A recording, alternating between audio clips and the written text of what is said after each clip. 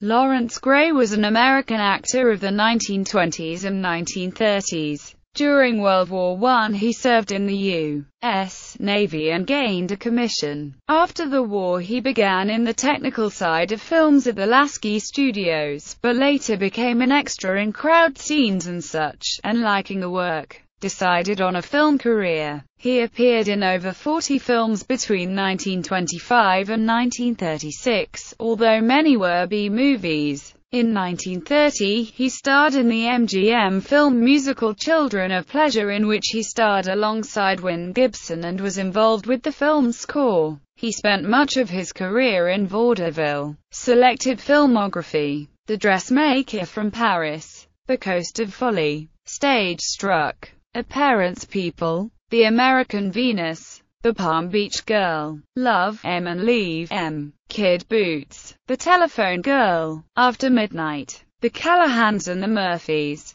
Convoy, The Patsy, Trent's Last Case, Marianne, Sunny, Spring is Here, The Florodora Girl, Danger Ahead,